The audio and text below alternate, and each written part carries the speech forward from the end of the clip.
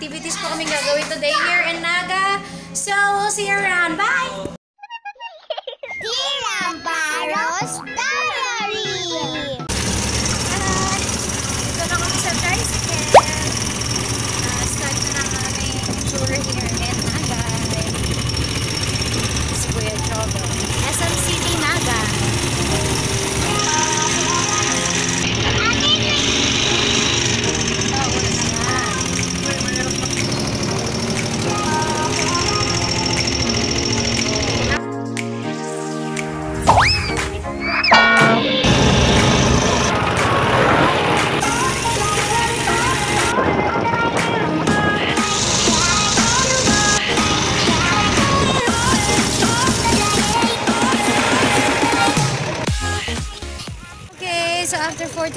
48 years, nandito na kami sa Strawberry Farm.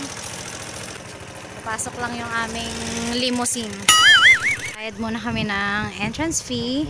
Kami 15 pesos, sila Ate Clay and Ali 10 pesos. Kasi mga strawberries, wala. Puro sunflower. Meron dito Philippine raspberry. Ano ba yung stevia? And grapes. Meron din dito siya. Ang galing. Ayan o, purple guava. Guapol. Ibig sabihin, guwapo na apple. Last ko na yan. Hindi na ulitin.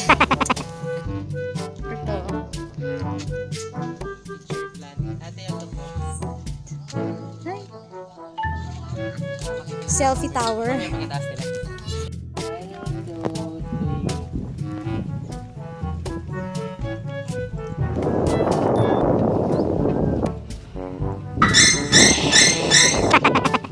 And, oo.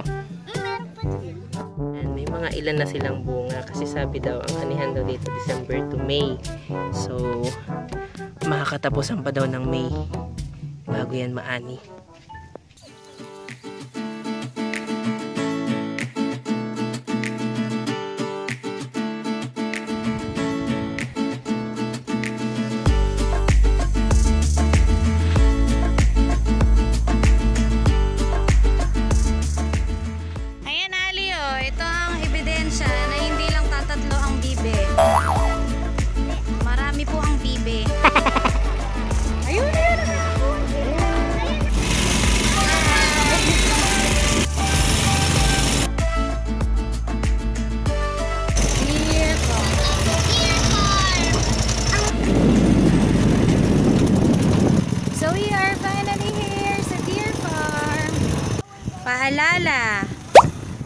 5, no entrance fee. Bawal ang bag sa loob ng farm. Mag-register sa guardhouse. Huwag lalampas sa itinakdang visiting area. Bawal magsigarilya sa loob ng farm. Register.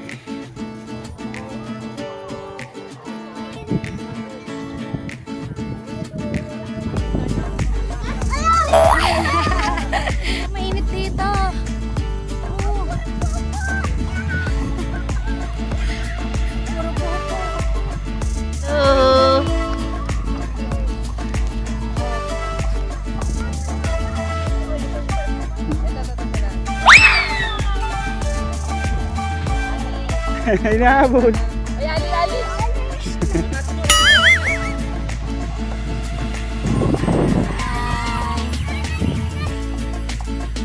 Hello! Yan, dito sila sumisilong kapag ka mainit na yung araw.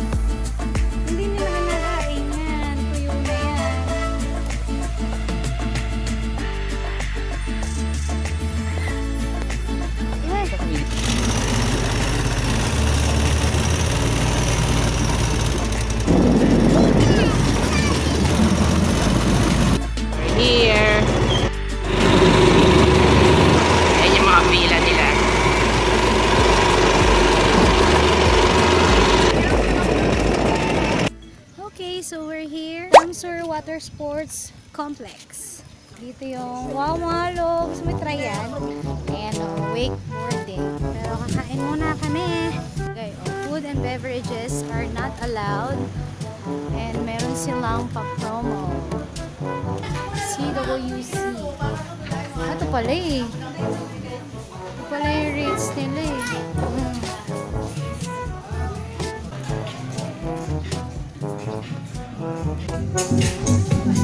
Oh, may swimming pool din pala dito. Kaya lang sobrang init. Palamig muna tayo, palamig. Pwede ba kumain dito? Dito na lang tayo. Yun pala. Ayan, yeah. breakfast meal.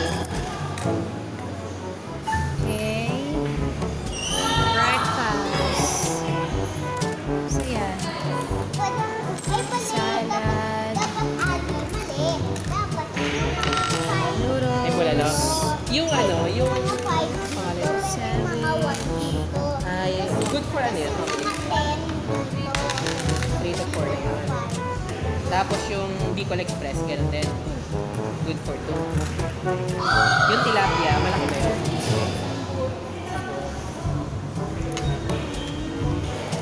Sige, yun na lang. Ito. Sige. Order natin. Ah, asan na ba yun? Kanin na natin. Hindi na tayo magpapansit? Kanin na lang. Oh, pwede na magdagdag ka. Ay, itong sisi, good for how many to? Ay, ito. Mag-order tayo na isa nito. Sige. O, isa na lang nito. Isang pork sisig. Tapos, tilapia. Ano sa dalawa? O, Ah, isang tilapia. sa tilapia. Maanghang ba to? Maanghang. Okay, pwede sa bata. tapos ano, mag crispy pa. Hindi, wait lang. Ah, crispy pa to o ano? Pwede sa bata. Crispy pa na lang. Pabata. Sige, yan na lang. Anong drinks nyo? Ah, ganoon. Nakuha yung order. Ano picture niya?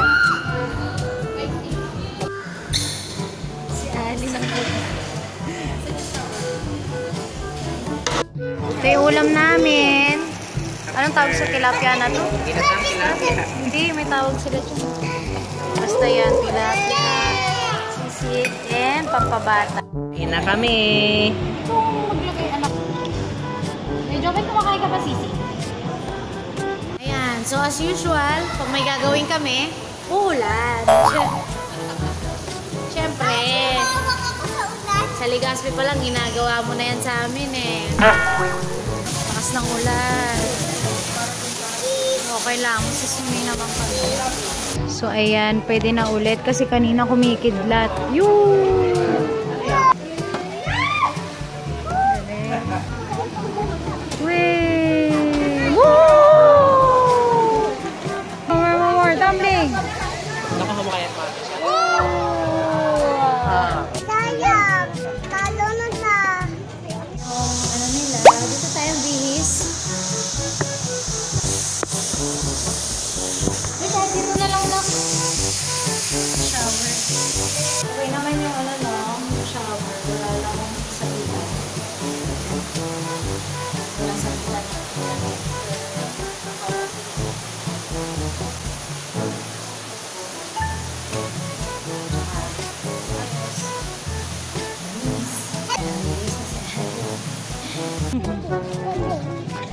Where are you going, Ali? Aqua Park!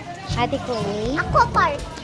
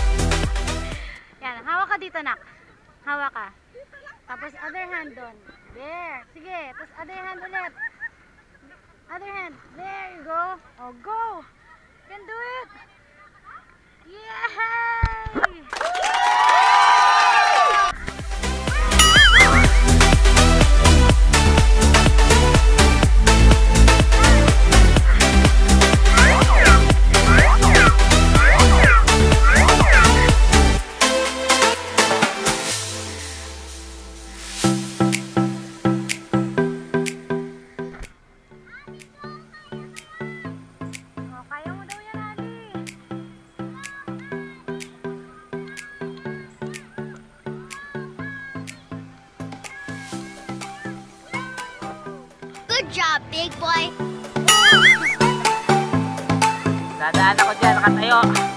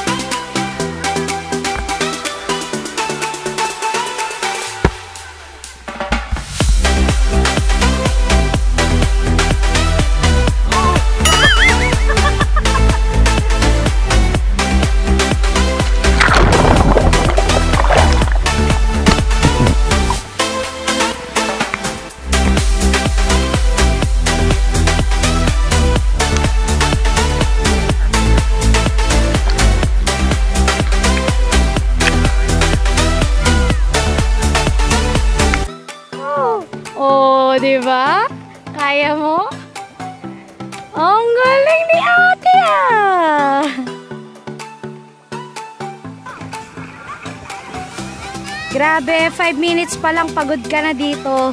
Ewan ko makatagal ka ng tatlong oras. Ayan for the kids. Oh, umalis na sila. Ayan. Daming fish. Okay, so tapos na kami dito sa CWC. Oop, ali. So, ang game plan, balik ng Legazpi. Hindi kami susuko! Wala susuko agad, wala na uhuling isda. At wala na uhuling ngayon! Ah. Bye-bye, CWC! Okay. Ikaw, Ali, kamusta experience mo dun sa ano? Inflatable. Parang mas ganda. Maganda? Nag-enjoy ka? Nag-enjoy ako. Doon sa mga nagkakatakot, yung mga aakyat ka, mahirap, pero bigla kang dudulas pa gano'n.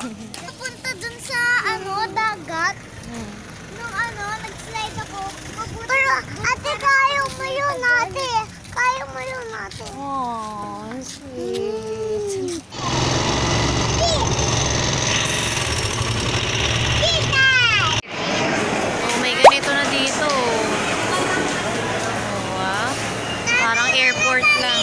Ulit sa terminal.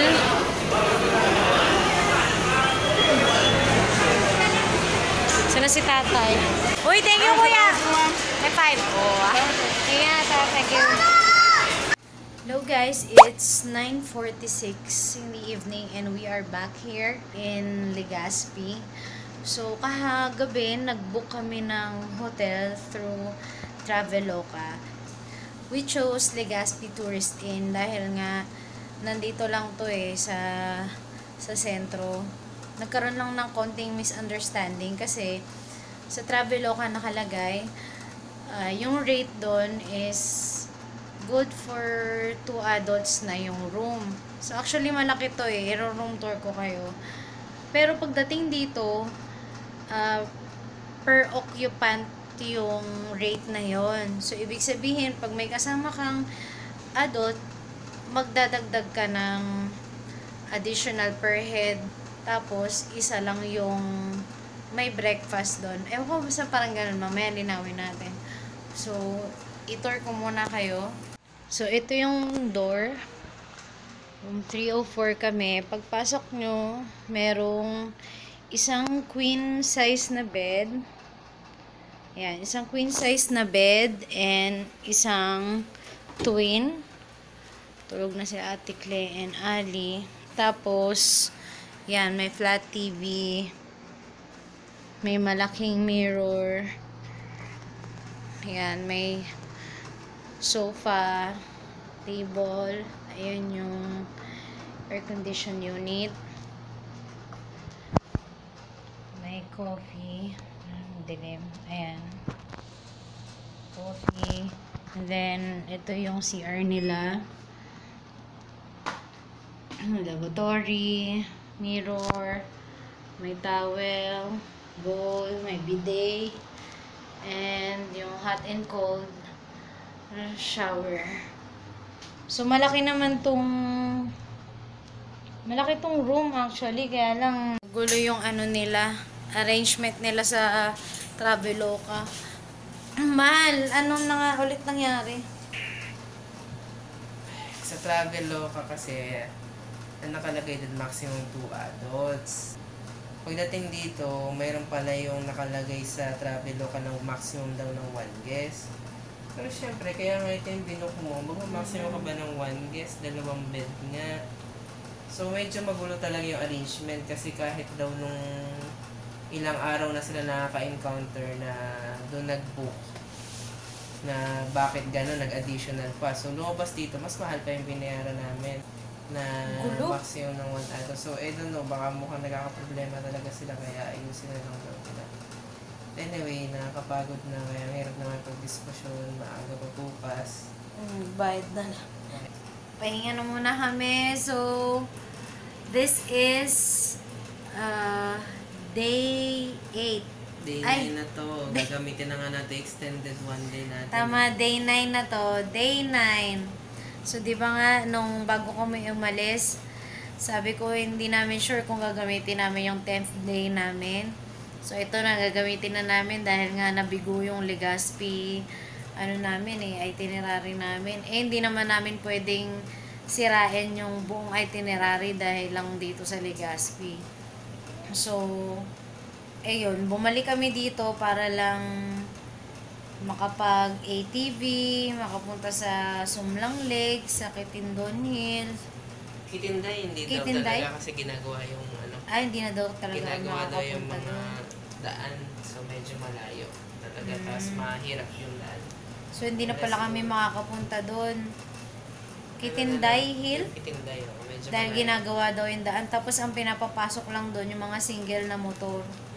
So, kung maglalakad naman tayo, Eh, kung maglalakad kami, musta naman may kasama kami mga bata. So, hindi na muna. na Tapos, bibili na lang ng pasalubong, tapos uwi na. Ganun. So, good night na muna for now and see you tomorrow!